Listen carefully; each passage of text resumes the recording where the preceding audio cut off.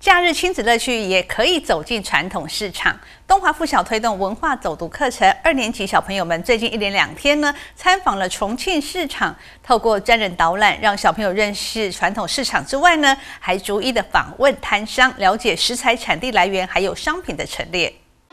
东华附小二年级学生，包括家长、志工等将近两百人，由校长包明君及老师带领下参访重庆市场。花莲市长魏家燕协同市场所所长以及诸位欢迎小朋友的参访，让小朋友认识传统市场的运作，也让学生分组采访摊商。他们从小就可以来到我们市场，能够看一看传统市场的样貌后，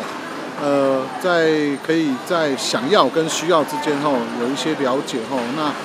呃需要就是就是每天可能都买一些东西要回家煮饭后，那也了解到爷爷奶奶爸爸妈妈的辛劳哦。那今天老师他们有带一些闯关的任务后，那也希望他们今天逛逛传统市场也逛得开心。那也了解到后，那我们不管是摊位的老板跟老板娘哦，那我们在做生意的一些辛劳。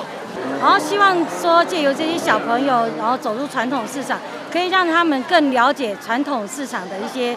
那个做生意的一些方式，还有说希望说今天来到重庆港观摩的一些，可以让小朋友回去更有有所收获。重庆市场有三十一家摊商乐意在做生意时，同时让学生做简单的访问，希望学生在文化走读这项课程有更多的收获。我待会要问老板，要他在重庆市场多久了？我我们要买一样东西回家给家人。我们要为家人买一样东西回去，还要完成，还要访问这边的老板他一些问题。自己买的感觉怎么样？凤林那个玲珑那边啊，那个因为好像开店的小老板。那边有一个自己开店的感觉。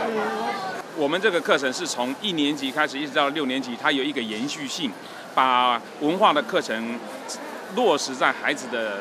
呃那个知识里面。这里面包括的是我们的传统的市场，所以我们都会到重重庆市场这边来。另外一个就是像那个呃松原啊，还有大成一村。美伦地区的一些文化的景点都是在纳入到我们课程里面，而这个延续下去到最后就是到高年级，我们要去日本交流。日本的大阪池田小学是我们的姐妹校，我们就把这个这个交流的课程、校本课程就会带到日本去跟他们做交流。那么这一次是从二年级开始，因此延续。